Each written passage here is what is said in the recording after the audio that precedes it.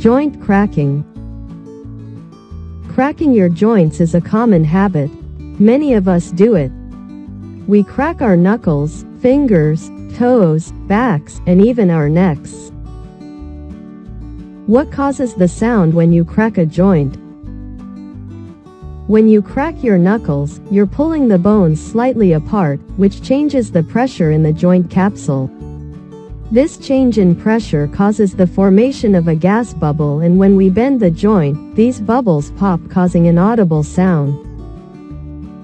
That's why we are not able to do it again right away. You have to wait for another 20 minutes to do it. It takes 20 minutes for the bubbles to form again.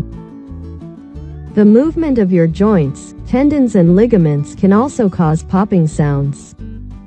This happens when a joint move and causes the tendon to change position. It may make a snapping sound when it pops back into place.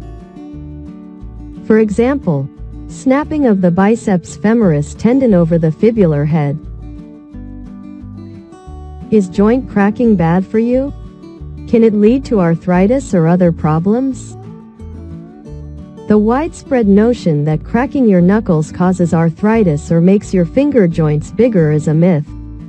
Cracking does no harm at all to our joints. What about neck and back manipulation?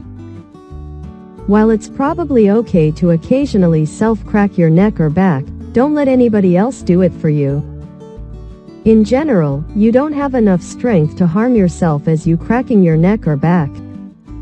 But if somebody else did that, he could apply too much pressure and cause injury especially if you have underlying problems in spine such as instability, or in vertebral artery like vertebral artery dissection or atherosclerosis.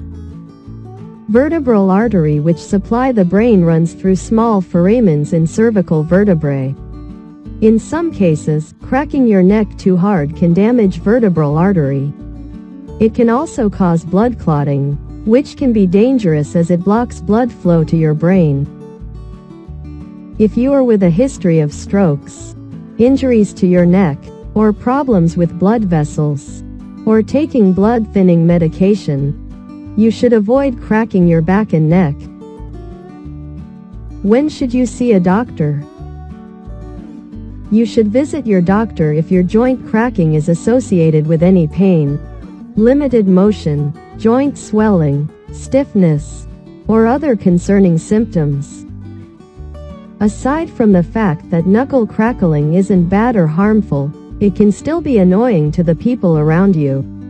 Breaking this habit is difficult but not impossible.